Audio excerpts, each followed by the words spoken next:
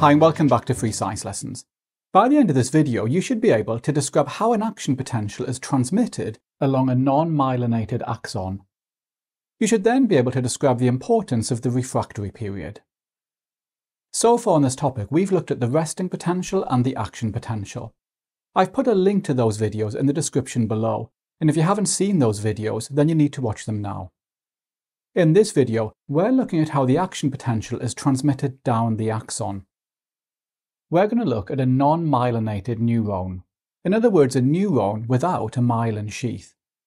In the next video, we look at a myelinated neuron.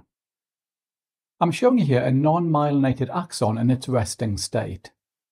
Remember that during the resting state, we have a higher concentration of sodium ions outside the membrane than inside. We also have a higher concentration of potassium ions inside the membrane than outside. And remember that during the resting state, the inside of the axon membrane has a negative charge relative to the outside of the membrane. Okay, imagine that a stimulus has caused the membrane to depolarize in region A. Voltage-gated sodium ion channels open, and sodium ions now diffuse into the axon down their electrochemical gradient. So region A is now undergoing the action potential. Sodium ions now move sideways from region A towards region B, attracted to the negative charge. Scientists call this a localized electrical circuit. This causes voltage-gated sodium ion channels to open in region B.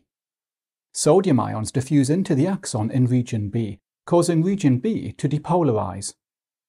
In region A, voltage-gated sodium ion channels close and voltage-gated potassium ion channels open. Potassium ions now diffuse out of the axon in region A, so region A is beginning to repolarize. Localized electrical circuits now form between region B and region C, and the action potential continues to propagate down the axon. Now, if we look again at region A, the outward diffusion of potassium ions means that the membrane has repolarized. So in region A, the membrane is negative on the inside and positive on the outside. Now sodium ions are actively transported out of the axon in region A by the sodium-potassium pump. So region A is now polarized back to its resting potential. At the same time, outward diffusion of potassium ions in region B means that region B is now repolarizing. So as you can see, a wave of depolarization makes its way along the axon. And once a region has depolarized, it then has to be repolarized back to the resting potential. Now, there's a key idea here that you need to understand.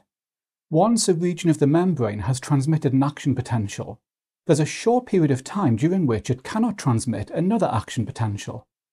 Scientists call this the refractory period, and there are two reasons for this. Firstly, once an action potential has passed a region of membrane, the membrane then has to repolarize. In other words, the membrane has to re-establish the electrochemical gradients for both sodium ions and potassium ions, and repolarization takes a certain amount of time. Secondly, once voltage-gated sodium ion channels have closed, they cannot open again for a short period of time. So for both of these reasons, there's a time delay before the membrane can transmit a second action potential. Now, the refractory period is important for three reasons. Firstly, because the axon membrane enters the refractory period once it transmits an action potential, this ensures that the action potential can only travel in one direction. Secondly, the refractory period means that action potentials are clearly separated from each other and cannot overlap. And lastly, because there's a time delay between each action potential, this limits the number of action potentials that can be transmitted during a time period. As we saw in the video on the action potential, a stronger stimulus generates a higher frequency of action potentials than a weaker stimulus. However, because of the refractory period, there's a maximum frequency of action potentials that can be transmitted. And this means that there's a maximum strength of a stimulus that can be detected. In the next video, we look at how an action potential is transmitted in a myelinated neuron. Scientists call that process saltatory conduction.